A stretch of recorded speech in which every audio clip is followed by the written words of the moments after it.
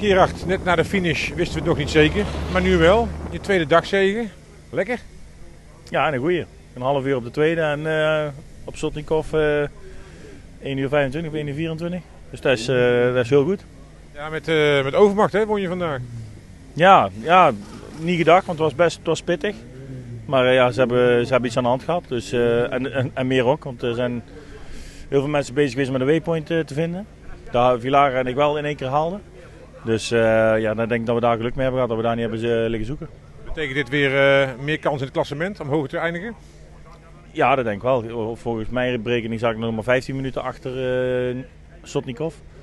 Maar volgens uh, de dakkersite uh, drie kwartier, dus ik weet niet waar dat een half uurtje ergens zit. Maar ja, af, afwachten. Maar, morgen is het uh, voor mij denk ik belangrijker, omdat morgen hebben we de, de Super Inca. Er starten de eerste vijf bij, vrachtwagens en dan tien motors en tien auto's. En ik heb in de top 5 hebben we drie weken staan. En hij, en Mas, Kamas heeft niemand. Ja, een Mas, maar ik weet niet of je die, of je die gaat helpen. Dus ja, dat, dat zal mijn voordeel zijn. Jullie zullen morgen als een team moeten opereren? Ja, wij zullen zeker uh, Federico en, en Mark zullen gewoon echt moeten helpen. Om, om ja, te zorgen dat ik geen tijd verlies.